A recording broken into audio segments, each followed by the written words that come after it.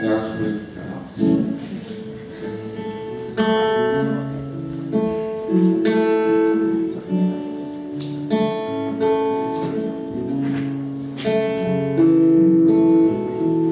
falling asleep, listening to you endless stories coming from by the fire about the sea and places so far.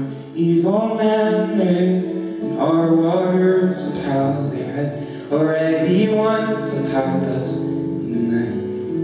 The winds had changed, so we could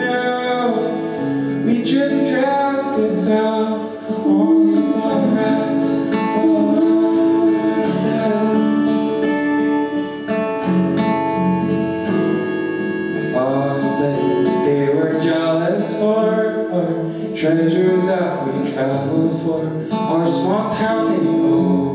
And he told me not to worry, he'd been on a fleet hidden amongst the shores. They were already waiting